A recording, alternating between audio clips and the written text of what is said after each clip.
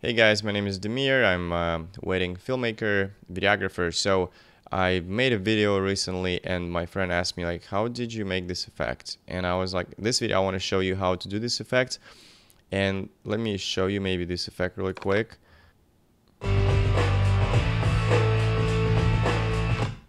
Did you guys see that? So here's, uh, I guess you gotta understand that you, you have uh, like multiple tracks, right?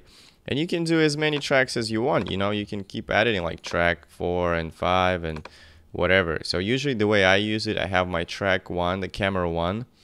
Um, if it's a two cameras action, I have camera one here, and then a second angle camera goes on top, and I sync it. I sync them together, so the same action is happening in the same time. So if I just disable this one, you can see I'm right here approaching this. The second one, once I disable, I just click V, right? It's the same distance. I'm here.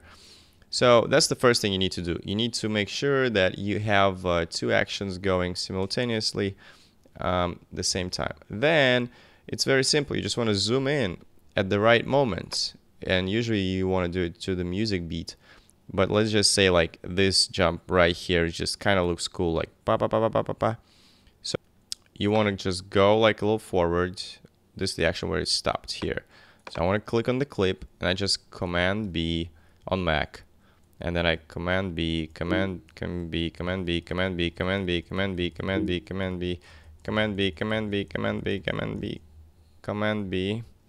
Then you, that's why it helps to zoom in. And then I just click on H and I click V, V, V, V, V, V, V, V, V, V disable disable and now if you play it da -da -da it's so quick because you are disabling one frame at a time. Click like it means a lot to me and uh, yeah see you in the next video. Peace out